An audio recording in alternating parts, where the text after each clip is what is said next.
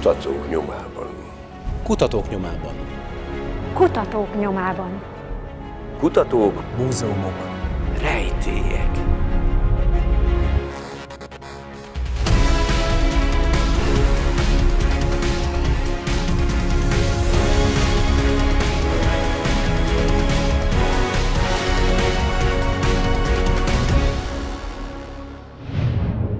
A Visegrádi Királyi Palota digitális másolata, uralkodóink rezidenciája régen és most.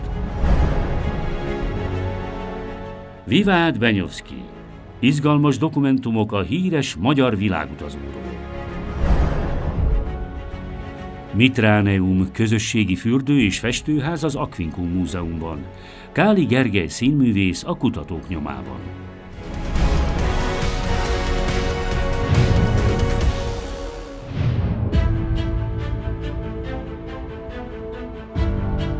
Történelmi és kulturális múltunk egyik bástyája a Visegrádi Királyi Palota, melyet végigjárni önmagában is élmény. Hát még most, amikor a legújabb kutatási eredményeknek köszönhetően az épület együttesen virtuális túra vezet minket végig, melyet akár a palotában, mobiltelefonon alkalmazhatunk, így eredeti helyszínükön megcsodálva a nevezetességeket. A legmodernebb Navis 3D lézerszkenner technológiával megalkotott digitális, rekonstruált másolat információ és részletgazdag, a hozzáillesztett tartalom pedig folyamatosan frissül.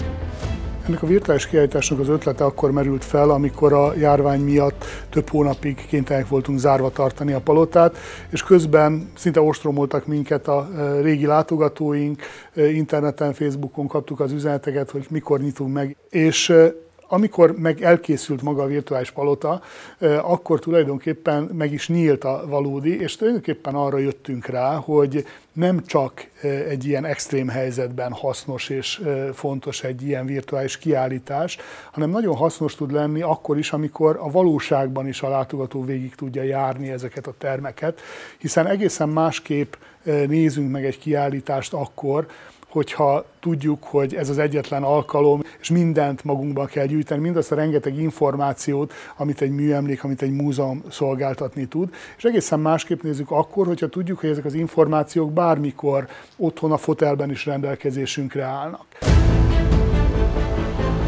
A 3D lézerszkenner technológia nem ismeretlen az ipar, az építőipar vagy éppen a filmgyártás világában, de az utóbbi időben jelenléte már egyre természetesebb a kulturális örökség megőrzését célzó kezdeményezésekben is. Többféle technológiát használunk, attól függ, hogy mi a célja a tevékenységnek. Amikor épületeket mérünk föl, mint például itt a Visegrádi Királypalota esetében, akkor egy olyan speciális eszközt használtunk, amelyik több lézerszkennert, több kamerát használ egyszerre, és a környezetét centiméter alatti vagy centiméter körüli pontossággal felméri. Tehát egyfelől rögzít itt mindent, amit körülöttünk látunk, és aztán ezt varázsoljuk a múzeum látogató számára, a telefonjára, vagy, vagy otthon a számítógépére, vagy a laptopjára. Amikor tárgyakat digitalizálunk és mutatunk be 3D-be, akkor egy másfajta technológiát, egy szintén optikai elven működő, de más jellegű eszköz használunk, amivel viszont néhány mikronos pontossággal tudunk tárgyakat digitalizálni. Valójában, amit a, a néző lát, az egy picit kevesebb, mint amennyi emögött van. Miről van szó? Azért, hogy tényleg valóságos 3D állományt tudjuk bemutatni, ahhoz a bemutatott állomány mögött egy pontfelhő helyezkedik el. A pontfelhőt úgy lehet elképzelni, hogy a térben mindent ugyanúgy, mint az emberi szem rögzít ez az eszköz, és ezeknek a, a pontoknak pontosan tudjuk a koordinátáját és amikor ebből egy felhő keletkezik, akkor erről a 3D pontfelhőről aztán olyan metszeteket eh, lehet készíteni, amikor pedig olyan eh, érdekes részletek is eh, előkerülhetnek, amit egyébként csak nagyon precíz építészeti felmérés során tudtunk egyébként észrevenni.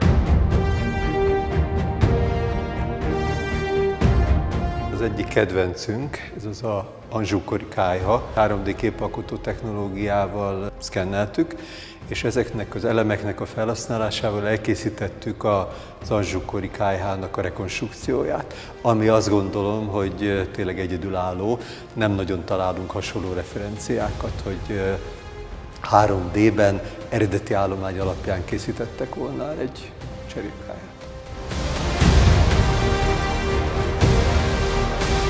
A virtuális túra nem csupán kényelmes, informatív és bármikor hozzáférhető a nagyközönség számára, de építészeti, rekonstrukciós továbbgondolkodás szempontjából is hiánypótló kezdeményezés. Károly Róbert, Nagy Lajos, Luxemburgi Zsigmond és Hunyadi Mátyás cserépkájhákkal, szökőkutakkal, erkélyekkel csipkézett rezidenciáját így módon bebarangolva, egy itáliai követet idézve valóban földi paradicsomban érezhetjük magunkat. Immár akár az éteren keresztül is.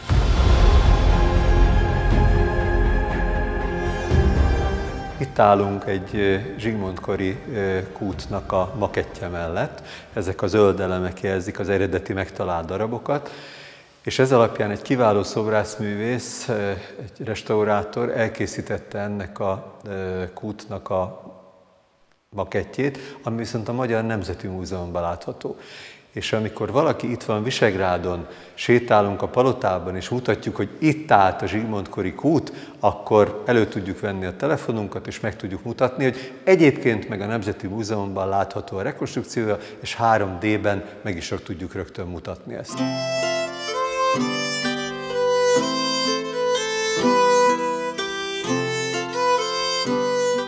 Királyi palotának egyik nevezetességeit alkotják azok a középkori díszkutak, amelyek közül nem mindegyik itt van. Van, amelyik a Salamon toronyban, sőt van, amelyik Budapesten van kiállítva, és ezeket a kutakat ez a kiállítás tulajdonképpen az eredeti helyükre tudja visszahozni. Az egyik a Herkules kút, illetve annak elődje egy anzsukori eh, díszkút, eh, a másik pedig az oroszlános kút, Mátyás király korából, és annak szintén van egy anzsukori elődje, egy struccos címerrel díszített nagylajoskori kút.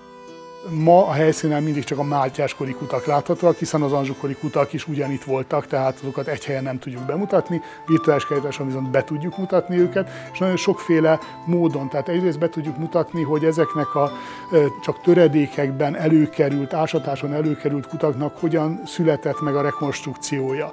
Magát a, a restaurálás folyamatát is bemutatja ez a virtuális kiállítás, és be tudja mutatni azokat a virtuális rekonstrukciókat, dimenziókat is, hogy milyenek lehettek ezek az udvarok, ezekkel a kutakkal Mátyás, illetve Nagy Lajos király korában. Itt állunk a Herkules kút mellett, szakmailag is egy, ha lehet így neveznem, hogy ő, számomra ő, egy óriási kihívás volt, mert rengeteg olyan technikai problémát vetett föl, amire nem gondoltunk volna például, de ugyanakkor nagyon hasznos volt, mert itt tapasztaltuk először, hogy a vörös márvány az nagyon furcsán viselkedik a lézersugár terhelés alatt, lehet így mondani.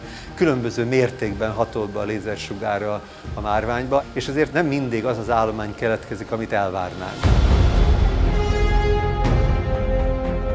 Amikor a palota díszudvarában található rekonstruált Herkules kút elkészült, akkor még nem álltak rendelkezésre azok a technológiák, amelyek alapján a hátul mögött látható eredeti darabok felhasználásával lehetett volna elkészíteni a, a rekonstrukciót.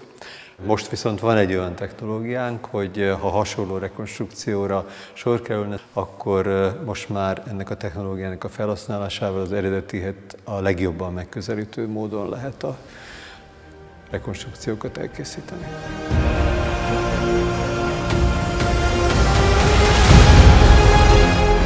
légkorok bemutatására ma nem nagyon van más lehetőség, mint hogy kihasználjuk a virtuális technológiák által adott lehetőségeket, hiszen csak így tudjuk megteremteni azt a vizualitást, amely a e, mai közönség számára egyértelműen a legvonzóbb, és e, ami egyedül fel tudja kelteni az érdeklődését.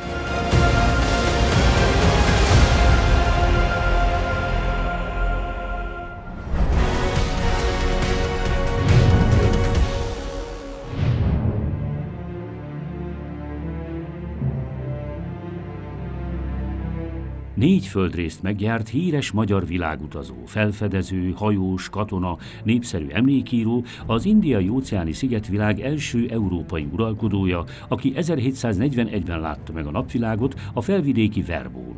Magukénak vallják a szlovákok, a lengyelek és kicsit az osztrákok is. De gróf Benyovszki Móricz elsősorban a mi legendás hősünk, akivel kapcsolatban eddig soha nem publikált dokumentumok érkeztek hazánkba. Erre születésének 280. évfordulója alkalmából került sor, ugyanis a Benyovszki Nemzeti Emlékbizottság koordinálásával 2021-ben nemzetközi emlékévet hirdettek. Ennek célja a világhírű magyar utazóról kialakult sokszínű kép gazdagítása. Nagyon ellentmondásos Benyovszki megítélése van, aki kalandornak tartja, van, aki felfedezőnek tartja. Éppen ezt az ellentmondást árnyalhatja a Benyovszki életmű feltárását célzó nagyszabású nemzetközi levéltári együttműködés is, amely a Magyar Nemzeti Levéltár vezetésével valósult meg.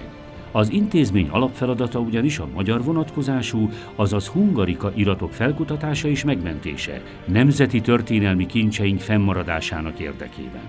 A Nemzeti Levéltár anyagában sajnos nem túl sok eredeti, konkrétan Benyovszki Morica kapcsolatos irat maradt meg, vélhetően azért, mert élete túlnyomó részét Magyarországon kívül töltötte.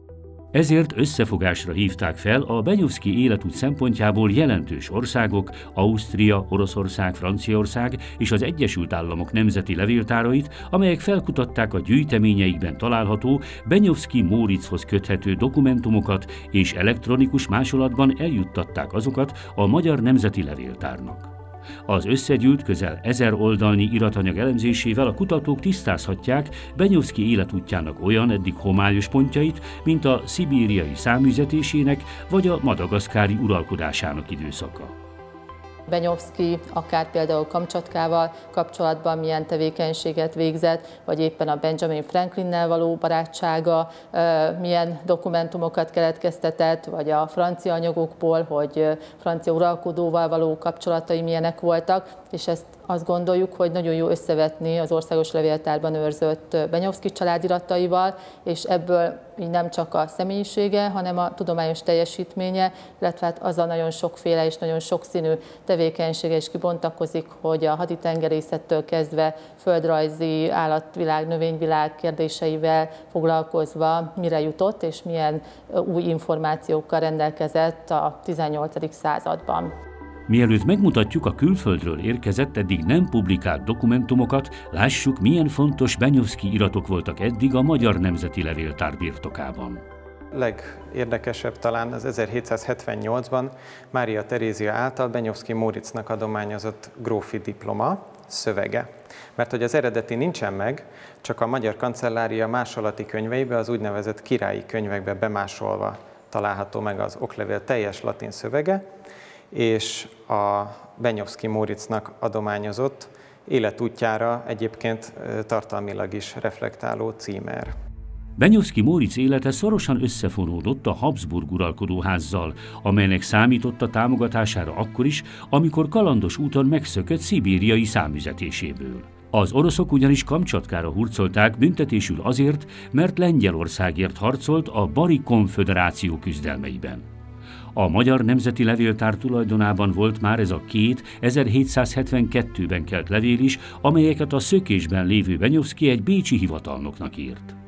Brunswick Antalnak a közbenjárását és pártfogását kéri a Bécsi udvarnál. Azért kellett az orosz és francia országi kalandjait így egy levélben elbeszélnie, mert miután szökésben volt az orosz cárnő által elrendezett száműzetésből, ezért az orosz kormány nyilván hát ha nem is körözést adott ki ellene, de követték kémek és egyebek útján az ő útját.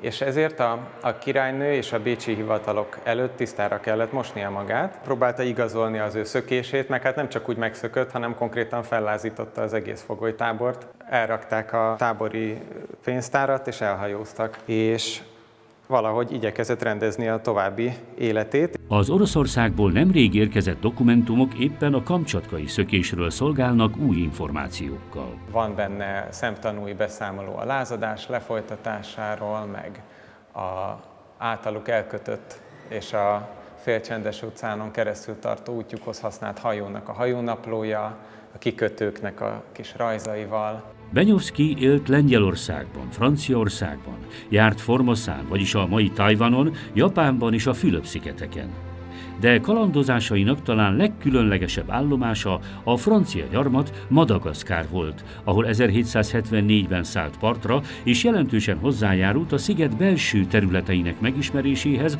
amiről emlékiratai is tanúskodnak. 1776-ban állítólag királyjá választották.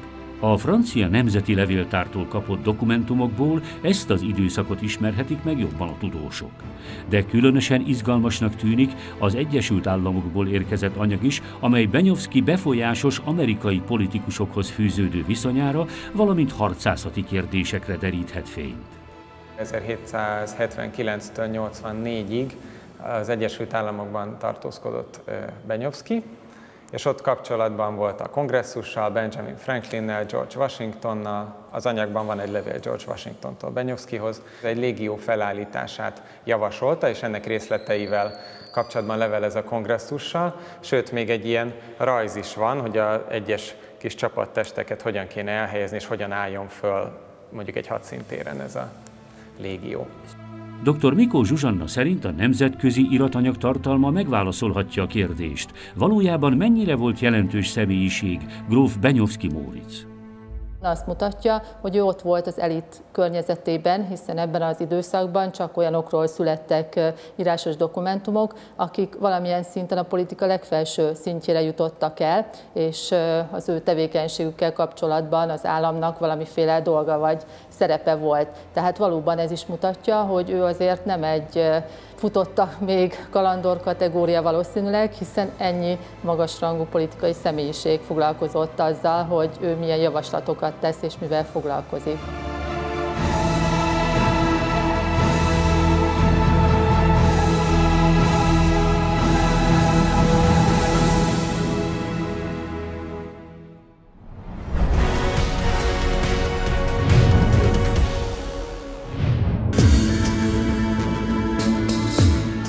Káli Gergely színművész Egerben született. Építészként tanult, de aztán az animáció felé fordult, ami mellett a másik nagy szerelem, a színház, a mai napig remekül megfér az életében. Sokáig az Egri Gárdonyi Géza színház tagja volt, jelenleg az Újvidéki Színházban játszik. Gergő már alig várta, hogy ellátogasson az Aquincum Múzeumba, melyet a forgalmas Szentendrei útról mindig megcsodált, de régészeti parkjában még sosem járt. A kutatók nyomában stábja most lehetővé tette számára, hogy egy valódi személyes tárlatvezetés során ismerkedjen meg e különleges helyszín nevezetességeivel. Az első állomás a Mitrász szentély. A Napisten Misztérium föld alatti templomát idéző, korhűen rekonstruált és berendezett barlang egy titokzatos vallás beavatási szertartásainak világába enged bepillantást.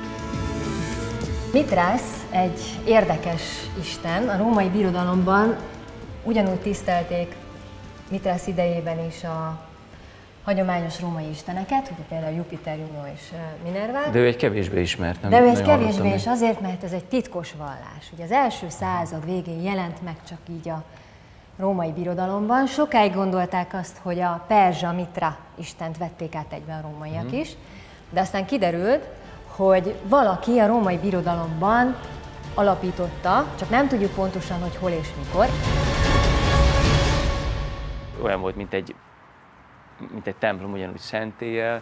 És ez is például egy fontos kötődése az embernek, akárhova nyúlunk vissza a történelembe, ez a ö, spiritualitás. Mitrászt látjuk, aki egy fiatal isten. Az eredeti közben 2000 éves. Részben eredeti. Itt az arca az eredeti, a bika is eredeti. Ugye mindig ugyanez a jelenet van, megöli a bikát, vannak mindig segítői, skorpió, kígyó és kutya, hogy lehetnek ezek csillagképek. Van egy bikánk, van skorpiónk, a két egyforma alak, az melyik, melyik horoszkópjegy lehet? Két ugyanolyan alak? Ékre.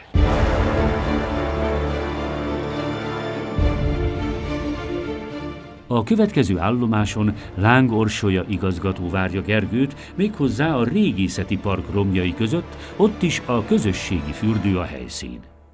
A főutcák találkozásában barangolva csak ámulunk, miként lett része a rómaiak mindennapjainak a luxus mellett a vízvezetékrendszer, vagy éppen a padlófűtés polgárváros legnagyobb fürdőjében járunk, az úgynevezett nagyobbik közfürdőben, vagy nagy közfürdőben, ami az első feltárt igazán nagy épülete a romvárosnak. Bejöttünk egy öltözőhelységen keresztül, itt hagyhatta a ruházatát a látogató, és innentől ruhátlanul kezdte el magát a fürdőzési folyamatot. És koedukáltan? Vagy? Nem, nem koedukáltan.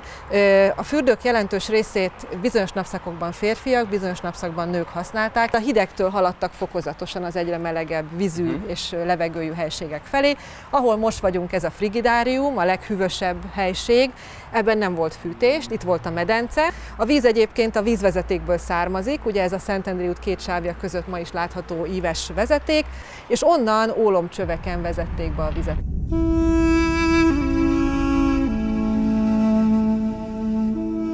Az a rész, ahol vagyunk, egy azért is egy nagyon különleges régészeti park, mert a római polgárvárosnak a területén helyezkedik el, és ilyen módon Közép-Európa legnagyobb összefüggő romterülete. Pompei és Róma után itt található a legnagyobb összefüggő római város. Olyan városi életnek a maradványait láthatjuk itt, ami azért másút nem nagyon tanulmányozható.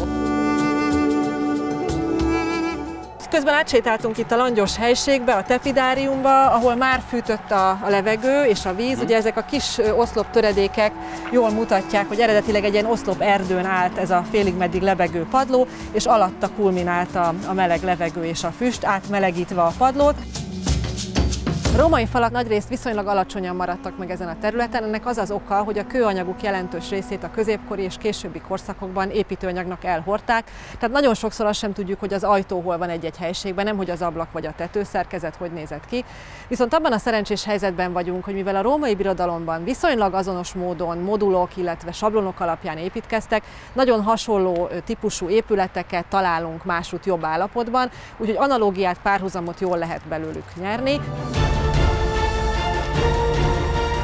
Ahol igazából jól lehet tanulmányozni, hogy hogyan működik a padlófűtés rendszere, az a forróvizes helység. Itt látszik igazán jól, hogy milyen sűrűn állhattak eredendően ezek az oszlopok, hogyha a levegő hőmérséklete 30 fok vagy annál magasabb, akkor el lehet képzelni, hogy a padlónak milyen forrónak kell lenni. Vastag talpú, jellemzően parafa papucsban közlekedtek. a mezitláb ezen nem Nem, nem, nem, nem. Nagynak tűnik ez a 2000 év, de szerintem valamennyire közel is, és ilyenkor lehet érezni, amikor egy olyan térbe olyan köveket érintve belépünk valahová, ahol a, ott van a régi kor szelleme, meg a több ezer évvel ezelőtti embereknek a, az emléke, hogy, hogy van egy ilyen közös dolog, ami mindig is ott volt az emberben.